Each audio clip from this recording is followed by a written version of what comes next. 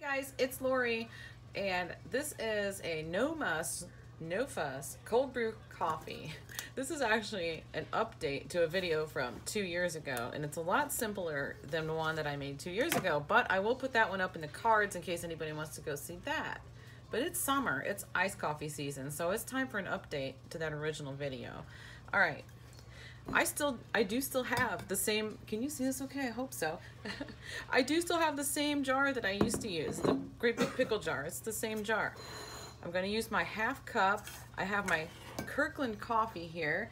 You can use any kind of coffee grounds that you wanna use. It doesn't matter.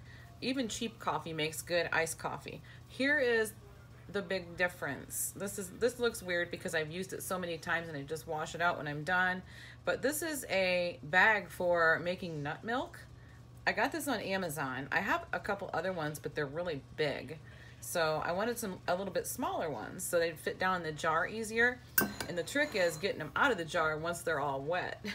But anyway, yeah, I do for this size jar. I'm not sure exactly what this is. Right here, this mark right here is 60 ounces. So it's a pretty good sized jar. I just do, this is my half cup because it fits inside this bag. My whole, my one cup measuring cup doesn't really fit in there. So I do two cups of coffee grounds for this size jar. I try not to make a mess. I'm making a little bit of a mess, not too bad. Just close it up at the top and I do this. I just kind of tie it shut so that I don't end up with a bunch of coffee grounds down in my cold brew. Get this out of the way. Now, this still, even though it's a smaller bag, it still ends up getting swelled up in there and hard it's hard to pull out of there when I'm finished. So what I do is I take a rubber band, I kind of push the coffee grounds up towards the top, and I take a rubber band and tie it around the bottom and just kind of crisscross it a little bit like this to make it so that the, so that it's easier to pull out of the jar when it's all wet. Drop it down in the jar. I just fill it up with tap water. That's all I do. Let me fill this up. While that's filling up, let me show you what I do when it sits, after it sits for 8 to 12 hours minimum, I usually let it sit for at least 24 hours. Sometimes it sits for two, three days before I get it and it's still fine. So it's, it's not a real big deal. As long as it's eight hours, you should get a pretty good flavor. But I've just put them in these jars and I'm using the wide mouth jars because I got these lids, if I can get it off of there.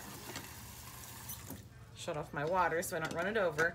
These lids are awesome. I got these from Amazon and I don't remember the exact price, but I thought they were a little on the pricey side, but boy, are they worth it. They've got a nice seal in there and they are so nice. You just put them on here and you can just pour this right into your drinking glass and mix it up however you want to mix it up. You can use flavored cream, you can use the Torani syrup, you can use just just plain cream. You just drink it black, you know, sweetener, whatever you want to do with it. But just like with my last video, I still make the coffee ice cubes. I've got four trays of them ready to go into the freezer now. Let me grab a, uh, my cubes.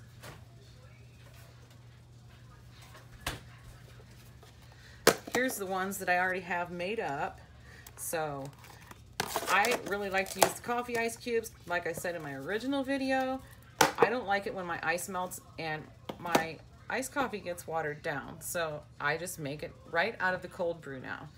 After I, when I, um, you don't have to strain it anymore like I did with the last video when you use the, the nut bags. Here's another one that I have. These are just really nice. And uh, this one is just got washed, so I'm uh, letting it dry. And what I use for that is this. This is, uh, I got this from Amazon too, and it's to hold open a Ziploc bag while you're putting stuff in it. But let me move this out of the way.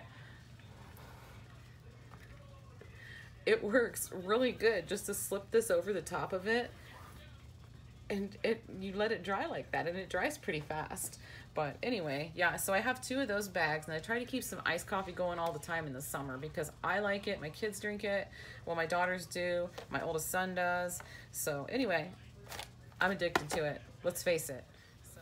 But I had made some earlier and my ice has melted and it's not watered down at all because my ice cubes are made out of coffee. So yeah, that's that's pretty awesome. Anyway, yeah, this is what I make the coffee cubes out of now. Before I would brew coffee and make ice cubes. Well, I thought, you know what, that's silly. That's a waste of time. Let's just make it simple and just use the cold brew to make the ice cubes too. Anyway, yeah, so that's everything, guys. And thanks a lot for watching. I hope you guys try the iced coffee, the cold brew. Let me know if you do. And I'll see you in the next video.